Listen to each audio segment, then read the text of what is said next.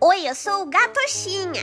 Quer dizer, o meu nome é Cookie, mas a minha mãe me insiste em chamar de Gatoxinha. Ela fala que eu tenho um tal formato coxínico, mas eu discordo completamente. Ela fala que eu tenho até cor de coxinha, mas eu só sou bronzeado. E você, acha que eu mereço o título de gatoxinha? Comenta aqui. Beijos, miau!